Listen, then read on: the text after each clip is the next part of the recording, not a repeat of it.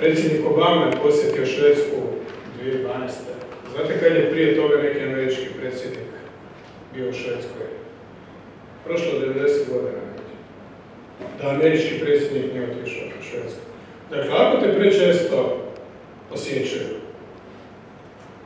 nešto s ovom nije u redu. Posjećivali su i Milošević je bio sjajan partner. I onda ga više nisu. Dakle, iz toga zaista ne treba izvlačiti nikakve zaključke. Ako već hoćete, izvucite ovako. Dakle, tamo gdje je neko koji je problematičan, tog se ide gledati i provjeravati. To je to.